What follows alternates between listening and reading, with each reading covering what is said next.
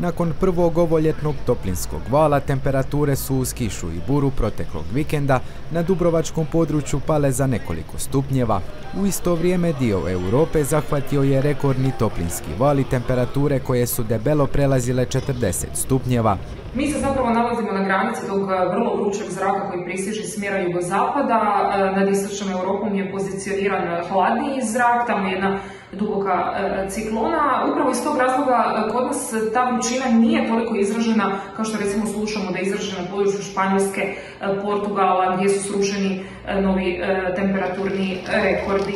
No očekuje se da će ovaj toplinski val zahvatiti i Hrvatsku. Živa će na termometru ubrzo porasti i na Dubrovačkom području. Ono što mogu javiti da će u nastavku ovoga tjedna, osobito prema kraju tjedna, još više tijekom idućeg tjedna i kod nas rasti temperature, pa tako i na Dubrovačkom području, da će ponovno porasti na vrijednosti iznad 30.